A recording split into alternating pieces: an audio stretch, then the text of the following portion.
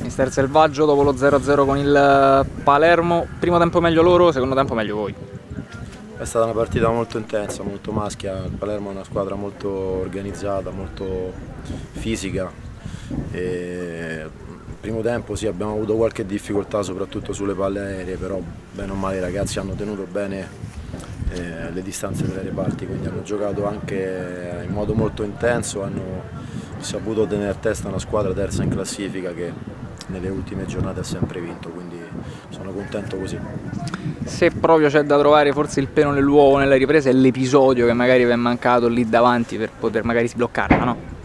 Eh, ce l'abbiamo avuto un paio di situazioni per poterla buttare dentro, non ci siamo riusciti, va bene così insomma, abbiamo, avuto, abbiamo fatto una buona gara intensa, sono contento così.